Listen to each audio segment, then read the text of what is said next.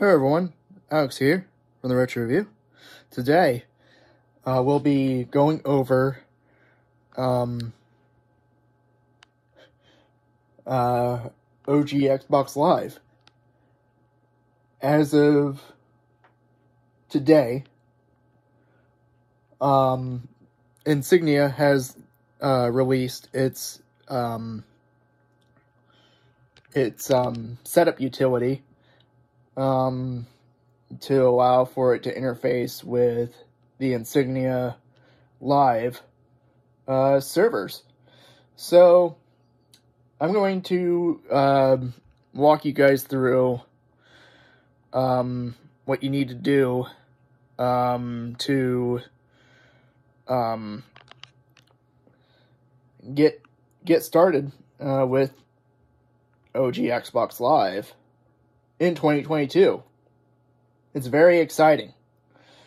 And there's there's a ha- a couple handful of games that are going to be supported on launch.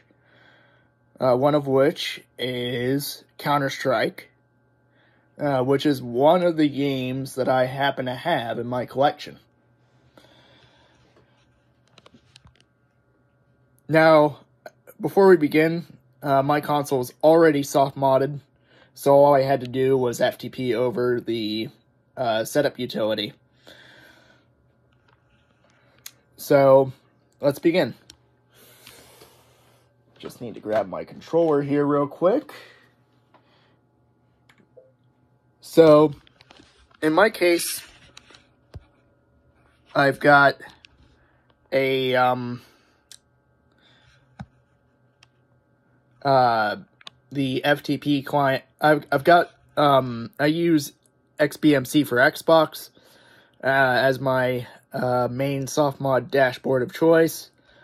Um, but if you want to use something like Evo X or e Evolution X, um, you can do that too. Uh, I recommend if you're wanting to soft mod your console, um, you're going to need a regular copy of Tom Clancy's Splinter Cell, or probably just about any copy of Tony Hawk's Pro Skater 4. Um, link uh, to the Insignia Live website uh, with the tutorial on how to get started with it uh, will be linked in the description below. Um, so, I guess I'll have to stop this uh, video of showing my face here, um, just to go, just so we went, went over things here, so I can actually get to the meat and potatoes. So, I'll be right, right back. So, what you're going to want to do is, um, basically, you want to go to your file manager. Now, like I said, I'm soft modded. So you're going to want to either soft mod your console or uh, just if you want to keep it stock, you're going to want to run um, the an exploit to then you'd switch over to uh, the uh, setup utility disk that of which there's an image for that you can burn to a disk and from there um, you can run you can run the setup utility from there from a stock console. You don't even have to soft mod in order to get it set up with Insignia, which is really nice. It's just a bit involved for a lot of people, and I just want to throw that out there before we begin. Now, I've already run the utility, but I'm going to show you what you simply just need to do from there. It's very simple, very straightforward. So I'm going to go to my File Explorer here. And you see that I have an E and an F drive. Now, I saved it to my F drive. So I'm going to go there. So if you soft modded with your original hard drive, you're to only have an E, an E drive. So, in my case, I'm to go to the F drive. we're to go to applications, or wait, it's programs. Yeah, it's in programs. My bad. Uh, I'm sorry if my uh, camera skills aren't that great. I'm recording with my iPad right now, so it's kind of unwieldy to work with. So I apologize for that. So we're going to go programs. And you're going to and we're going to go to the Insignia Live Setup Assistant folder here. So I'm going to set this down right here as best I can. Once we run this utility, it'll look a lot like a Nintendo Switch application. Now, this is just a design choice on the behalf of the developers, and I, I honestly like this look. It really brings the Xbox to, a to the modern era, era.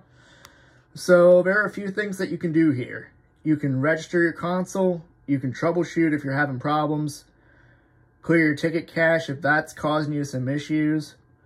You can view your HDD key if that's if that's something that you need to do before you upgrade your hard drive. Um, view the credits of the of everything, and then you can just quit out of the setup assistant.